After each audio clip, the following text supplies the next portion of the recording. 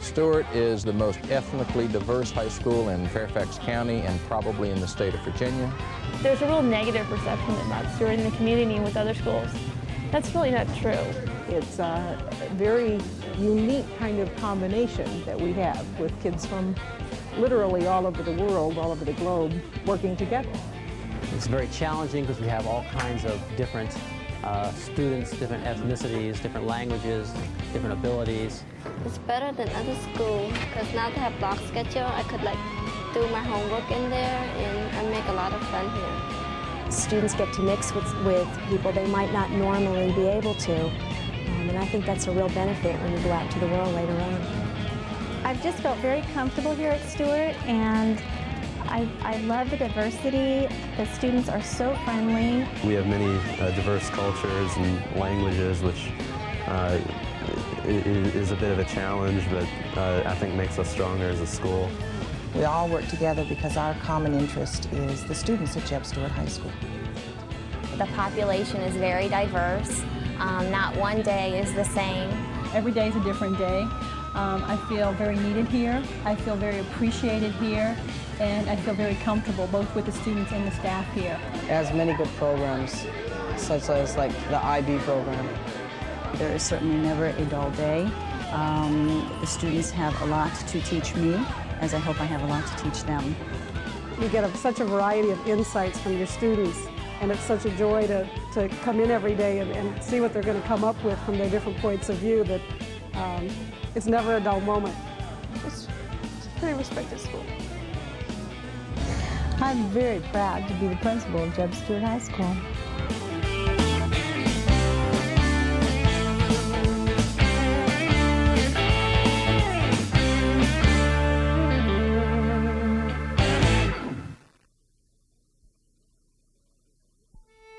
There's a history and a tradition associated with Jeb Stuart High School, which is located in the Bailey's Crossroads area of Fairfax County.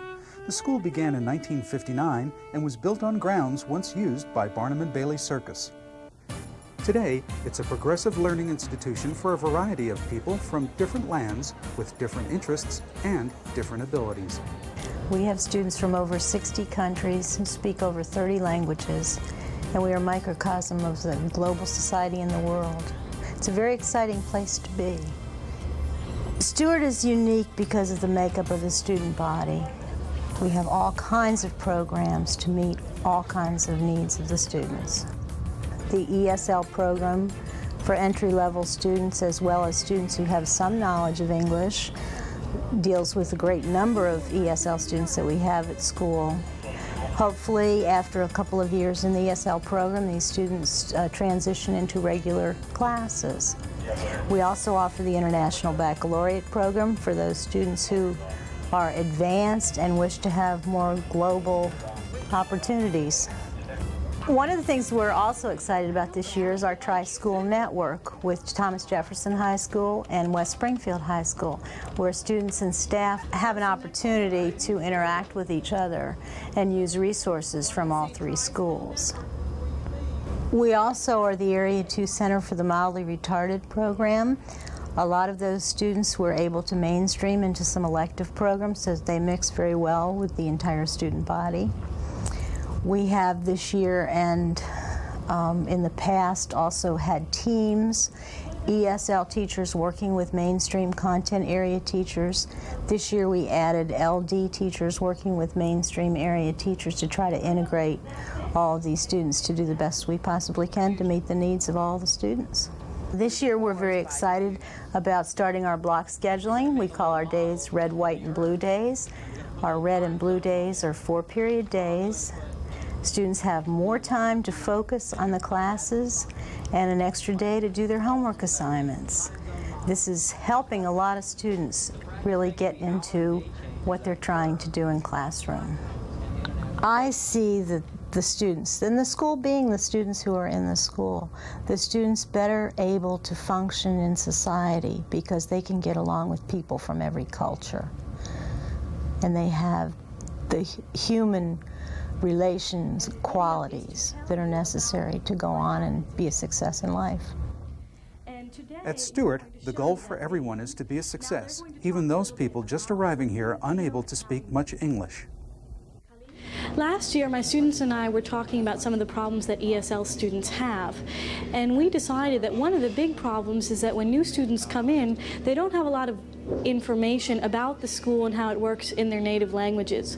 So we decided to take on this video project to better meet the needs of those students when they first come into the school. We went ahead and we decided what areas of the school we thought were important and we thought needed focus. We came up with a list of things like the clinic, the cafeteria, um, the attendance office. And then the students divided themselves up into groups. They wrote scripts in English for each of those sections.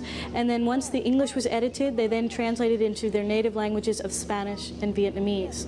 They typed that up. We ran it by the, the uh, appropriate people in the school to check for clarity and correctness. And then we began to film. And the students did everything themselves. Page the box. what water borders the United States in the south? In the south. Gulf of Mexico. The Gulf of Mexico. Very good.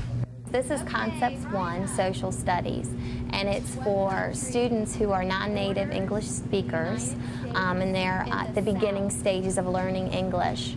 The um, curriculum is based around geography, um, world geography, as well as local um, geography the world geography and local and United States geography, um, we study the physical characteristics, and right now we're learning the landforms across the United States.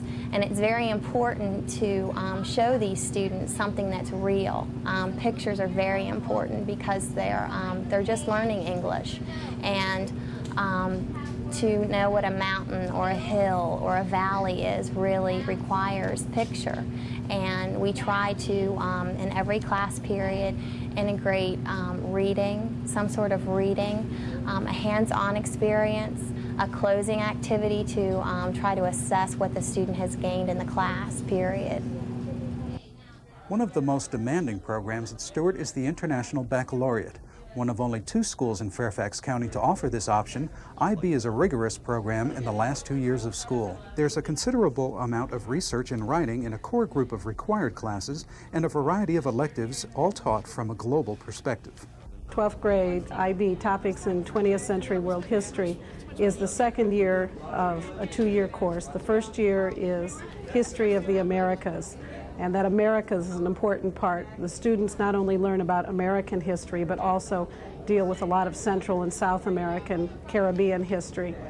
Uh, this is the second part of the course, and in this point we con concentrate on the 20th century and we deal with it on a world level. So they're expanding out again from the United States and looking at developments in Africa and Europe, Asia, and the Americas. And they have three topics that they need to explore in great depth. Uh, one of them is the cause and effect and practices of war. Another is the rise of the single party nation state, and we can look at a lot of good examples of that in the 20th century. And then the third one is wars of decolonization and how nationalism has changed the world in the 20th century. The United States was the greatest place to live in the world in 1900. Support or criticize this statement okay? And that's what we're looking at. What kind of facts could you marshal up to support this statement or to knock it down? Uh, I, I think this course is particularly effective because we're not just concentrating on the United States. And anybody who walks into Stuart after a few minutes really gets the sense of variety in this school. We have students from all over Latin America. We have students from Europe and Africa and Asia. And, and truly, most um, most of the students here can appreciate studying a greater um, a greater variety of subjects rather than just the United States because a lot of the children have, have lived in these other countries or they've come from these other countries and, and so it fits a school like Stuart, Stuart very well. Problems at this time. Yeah, there's in, at the turn of the century there was no voting for blacks in the South. There was no Asians couldn't buy houses, and there was it was there was legal segregation. À la fin, Henri va nous dire euh, combien de points vous avez gagné, combien de points vous avez gagné, Et ceux qui ont gagné le maximum de points, alors, c'est pour la télé ou contre la télé These days it's very important to know a, a language other than English, uh, especially in this uh, international area. Uh, they are working on the four language skills of speaking, reading, writing, and uh, listening. Uh, the goals of the class are to develop all of these skills. It's much more of a communicative type class. Today we were having a, a mock kind of courtroom um, argument between two sides, one that, that's uh, for television and one that's against it. Um, yeah, and, and, this all occurred in French. uh, for each side, the students uh, chose a character to portray, um, which helped their argument. Uh, on, on, the, on the side against television, we had a, a teacher, uh, someone who was a babysitter, and, and also someone who portrayed a, a teenager who was against television. And on the pro side, uh, there were also some different characters which, which helped portray their views against television. And uh, we also had a judge which uh, moderated the arguments. I think the IB program at Stuart is a, a chance to, um, for, for, a student to get the, their maximum amount of, of education and challenge in high school. Uh, it, it's very good to prepare for college and it also gives more of a, a world focus on um, uh, on the studies, uh, which can help later in life and in college, uh, especially if the student's planning to study abroad or, or do work in uh, foreign countries later on in life. Ni de gagner de l'information, ni d'enlarger leur horizon. Just like a landscape. That would be good. Like I mean, like close up, mm -hmm. or from far up and then come up close. That would be nice. Either way. Sounds good. The difference in the program is that there's a concentration on more cultural type things, and since this school uh, has many students from many different lands, different countries, um, there is a greater interest perhaps here uh, because a lot of students are coming from places in their country that they might go back into that country um, with the beginnings of art. I think the students are more serious. They work um, into their artwork a little bit more. They are thinking more deeply, more critically about what they are doing. The title of this collage is Rhythm of Life. Actually, um, the people are symbolized as like dancing, but it's, it also symbolizes like joy of life, you know. And um, each person has like different types of paper. It symbolizes like different kinds of people. I think IB program is very nice program for the people who really wants to go to college and thinking about their major as art. Or oh, in my case, my major will be like architecture, engineering, and I think um, I'm pretty good at math and you know art. So I'm gonna combine those together, you know, for my major, which is architecture engineering. Many of the IB students are members of the National Honor Society. One requirement of the IB program is to devote time to community service. What's 1 plus 3 plus 1? That's correct. And then you just take that number. About four years ago, uh, Jeb Stuart High School's Honor Society and the Fairfax County Department of Family Services started tutoring a small group of students from Bailey's Elementary. We had about 15 students and about four tutors, and we met twice a week. Now we have about 50 students we have about 10 or 15 tutors, and we meet three times a week. I help the students with their homework, such as math, English, science, and usually they have worksheets, so I can help them on those worksheets. I enjoy helping the students with their homework. It's, it's fun. The Tri-School Network allows computer users at Stuart the capability of accessing files and sharing in research with both West Springfield High School and Thomas Jefferson High School for Science and Technology. The main advantage of being connected with the other schools is the communication involved. The same programs could be available just within the school except for the internet capability and the fact that for uh, a much more economical uh, resources, we can have access to more CD-ROMs and more research facilities that no one school would be able to uh, have the same amount of, of materials available. This group of kids right now are geometry students who are just finishing up a program that is introduction both to the program that they'll use a lot throughout the year and an introduction to geometry. So they're doing some work with points and lines and rays and also learning how to use their program and then as they finish up and go back there will be a, a different geometry class that's going to come in and do some practice with writing equations of lines. And then you want green gloves. Okay? Yes, it'll come. Just be patient. The whole idea is to write the equation that gets the most points at once. It looks like a game format, but it really there really is a lot of work involved in producing what they need through that game. Ladies and gentlemen, I just happen to have, Miss Francis and I searched high and low, and we just happen to have found a poem for you. Oh man. All right, yeah. Oh, Mr. Wees. Can I hear an oh boy? Can we get an oh boy? One of you actually we need an oh boy, don't we? Stuart High School is a partner with George Mason University in their College of Education's Professional Development School. In addition to keeping the classroom supervising teacher sharp and innovative, this comprehensive approach for preparing new teachers maximizes the opportunity for the student teacher to develop his or her own skills. I think it's it's great. Um, I've really had some um, great experiences with the students being actually feeling like I am a teacher instead of just coming in and observing and sitting at the back of the room and taking notes. This way I'm actually an active part of the process and um, I'm able to gain a relationship with the students and I'm able to learn teaching strategies um, and just as a whole just feel like a real teacher. This program is a non-traditional program. In a traditional student teaching situation, uh, had Debbie come from other, some other school, uh, School of Education, uh, she would have arrived a month into the first quarter.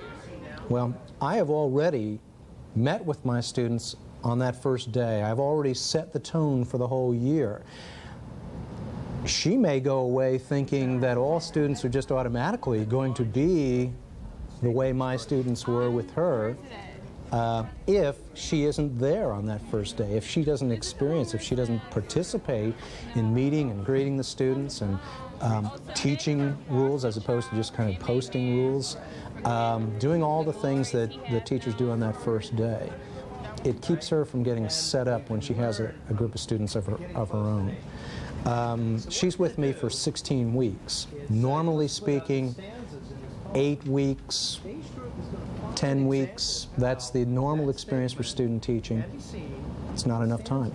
I appreciate the diversity here at Jeb Stuart. I believe that I'm getting the experience here um, with interacting with students from 30 different, I think there's 30 different languages here at Jeb Stuart, and I don't think that I would get this kind of interaction anyplace else and the experiences that I'm getting.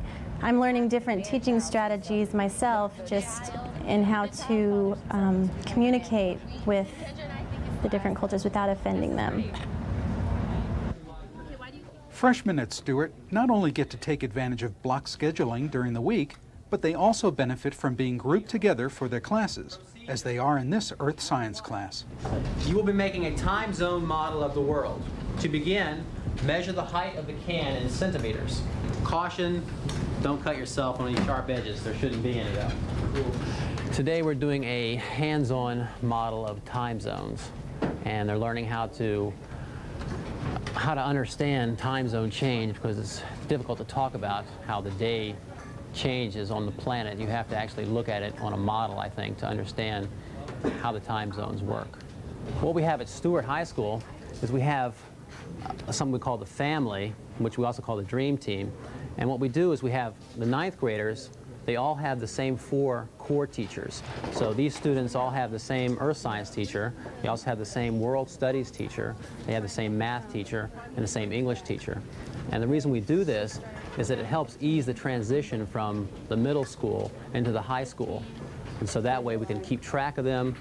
It's easier for us to prevent kids from falling through the cracks. And uh, we can meet regularly and we discuss the kids. And it really helps us to really focus in on uh, individual differences that these children have. Working in the group's pretty fun. Um, we get to like help each other and just I don't know experience just how to do science and stuff. Typically, students come in and take ninth grade earth science. Earth science gives them a good background and gives them a good starting point for the uh, future sciences that they'll take next year, like biology, the life sciences, and then go into chemistry and physics. So what we try to do in the ninth grade is to get them into the groove, so to speak, teach them how to keep a notebook, how to uh, do measurements, how to use the uh, instruments, the scientific tools, and just get them onto a good start in earth sciences. And we talk about, we learn about geology and astronomy, uh, oceanography, we learn about the weather, those sort of things. In order to meet the needs of all students at Stuart, some classes have been designed to accommodate those with special challenges. We study biology, which is the study of living things, but it's our job as teachers to modify our teaching strategies to be able to meet the needs of our students, allow them to master biology at the level they're at, and try to help them stretch and grow to the highest level possible. We started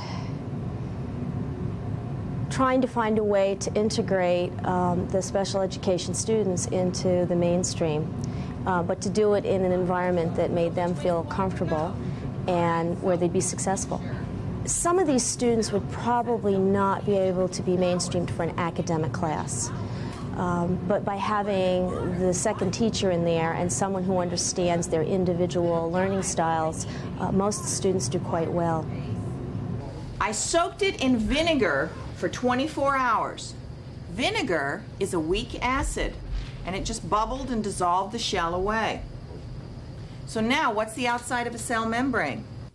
We had discussed yesterday uh, the process of diffusion and osmosis. Today we were doing a worksheet on that to review the concepts of uh, diffusion and osmosis. And then we set up a lab which would allow the students to see the process of diffusion and osmosis. They are observing cells, large single cells, and uh, hopefully it will help reinforce what the process of diffusion and osmosis are. The other egg, I'm going to put in pure water. So what do you think is going to happen to a cell? Okay, Sophia's saying that if I put this egg in pure water, the water from outside is going to go into the egg. Anybody want to agree, disagree? No. Okay, when you are accommodating, you're doing what? You're letting the other person have their way. Make it joke. All right. All right, number five, understand the other person's point of view. WESEP is a program that is one of seven in Professional Technical Studies Department. Um, it is designed to incorporate skills that are learned in the classroom with skills that are learned on the job. Um, we start off with how to get a job. We work into how to keep a job, um, banking, um, finance, taxes, insurance, um, and careers. Um, what you saw today was conflict, trying to help the kids to understand how to deal with conflict and different ways to approach conflict. I think it's very important um, as far as a lot of these kids need to have a job, um, some for um, to help family situations, um, others want need the experience of having a job, and I think it fits really well here at Stuart to have this type of program. Conflict resolution is not just a concern of the WESEP class at Stuart. It's a concern of both the administration and student body as a whole. Okay. The image that's presented to most of us uh, about the police is something we all feed from our, uh, our best source available, and that's the television. And sometimes, uh, uh you know, that information is not necessarily accurate. Uh, and sometimes it, it is. Uh, but for the most part, the police are presented in an enforcement role. when really our primary function is to first protect life, second to protect property, third to keep the peace, and fourth to investigate crime. And that's what this is really all about. It's not uh, enforcement primary, it's peace officer primary and relationship building. And it's a, and it's a good chance uh, to work with some young people who are motivated and uh, are really going places. This is a pretty good school. You can submit these names to, I believe, any of the teachers or organizers, Mr. Gill, and I'm not sure what we're going to do from there. We started peer mediation last year. Uh, peer mediation is growing throughout Fairfax County simply because it's one of the uh, ways and means that many people have found very effective to eliminate violence in, in the schools.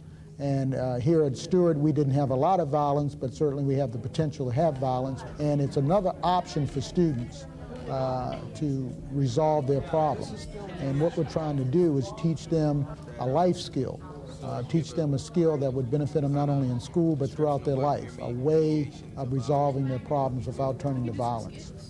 We help people solve problems by just mediating between them. We don't solve it for them, but we let them solve it. We just be the middleman to help them work out to, for their own resolution. And what was going on here, we were in our different committees, which is organization, um, recruiting, publicity, and training. And we're just telling people their duties and what they have to do. I feel it should be peer mediation because if nobody helps people come to a resolution, then I don't think it'll ever end if they just continue to fight. Now, does anyone have any type of connection we can use? Um, I know a lot of restaurants are willing to give uh, gift certificates. I, did I mention there? Whether participating in student government, taking part in extracurricular activities, or maximizing their effort in the classroom, Stuart students and staff are working hard to make this school the best. The SGA is the main governing body for the school, and our main priority is to increase school spirit. And we do a lot of activities. We do pep rallies and um, the homecoming festivities, a parade, halftime. All the school students in the school are a member of SGA, and a lot of them participate in activities and help out and give suggestions. The other week, we had a student leadership conference where um, students were really great, and they gave us a lot of great suggestions for what to do about homecoming, how to make it better. Um, some of those were freshmen who had no idea what it was, and it gave them insight to what it was and what would make them come, which is really what we want to do. I like Stuart. Uh, when I first came here as a freshman about three years ago, people, were, oh my gosh, you're going to Stuart. I've always liked this school, and I'm going to miss it when I'm gone.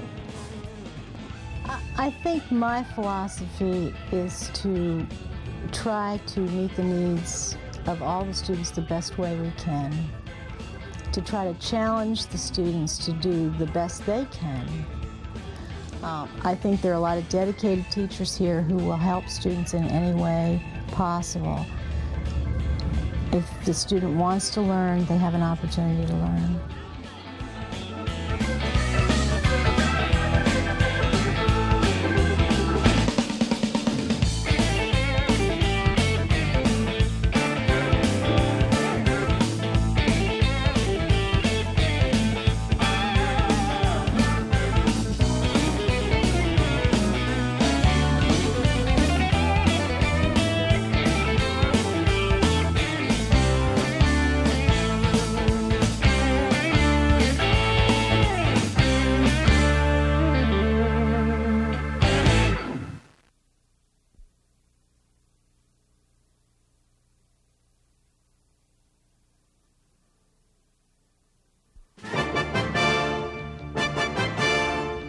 Channel 25, the community classroom, offering instructional programming to the public.